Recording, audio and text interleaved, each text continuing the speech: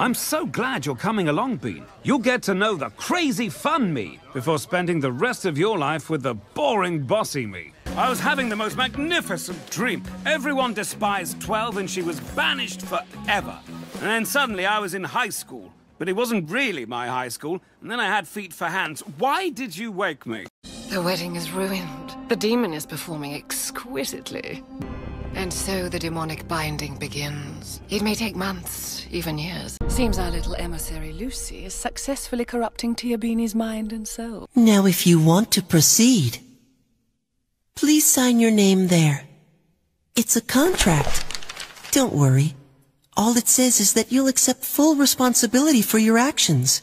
You know, the usual stuff. I guarantee I can make you fall asleep in less than 10 minutes. This will help the stereophonic image I have so carefully created for you.